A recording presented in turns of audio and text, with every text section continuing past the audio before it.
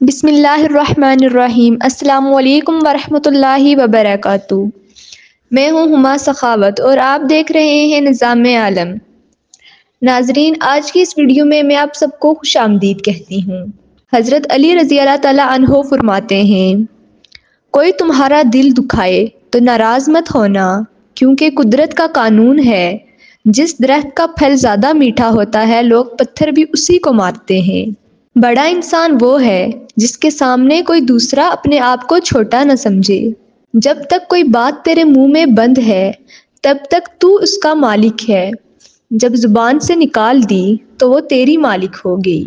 बाशाऊर और बाज़मीर लोगों के बीच दोस्ती का रिश्ता खून के रिश्तों से ज़्यादा गहरा होता है। तुम्हारे नफ्स की कीमत जन्नत है, इसे जन्नत से कम कीमत में ना बेचना। हज़रत मौला अली इस्लाम से किसी शख्स ने पूछा या अली, मैं सदका खैरात करना चाहता हूँ, लेकिन मुझे अंदाज़ा नहीं कि कौन हकदार है, कौन नहीं। मौला अली इस्लाम ने फरमाया, तुम उसको दे दो जो हकदार लगे, और उसको भी दे दो जो हकदार ना लगे। अल्लाह तुझे वो देगा जिसका तू हकदार है, और वो भी देगा जिसका तू हकदार नहीं है। जिसके पास अक्ल नहीं है, उसके अदब नहीं। जिसके पास हिम्मत नहीं, उसके पास कामयाबी नहीं। और जिसके पास दीन नहीं, उसके पास हया नहीं। दौलत मट्टी की तरह है और मट्टी को पैर के नीचे रखना चाहिए।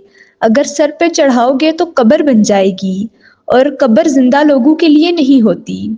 आँख दुनिया की हर चीज़ देख सकती है, मगर जब आँख में कुछ चला जाए तो वो उसे नहीं देख पाती।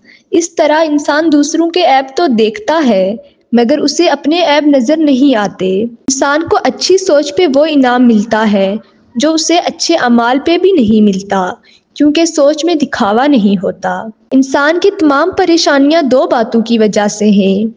तकदीर से ज़्यादा चाहता है, वक़्त से पहले चाहता है।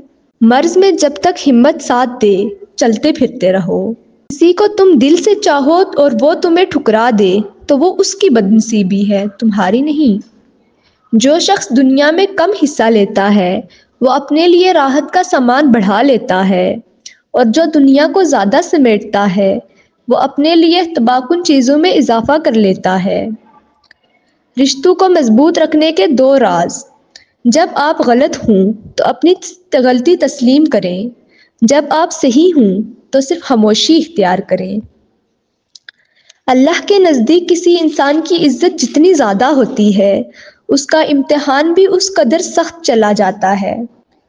हज़रत अली रज़ी अल्लाह अल्लाह ताला से ये दुआ फरमाते, मेरे अल्लाह, मेरी इज़्ज़त के लिए यही काफ़ी है कि मैं तेरा बंदा हूँ और मुझ, मेरे लिए फ़ख्र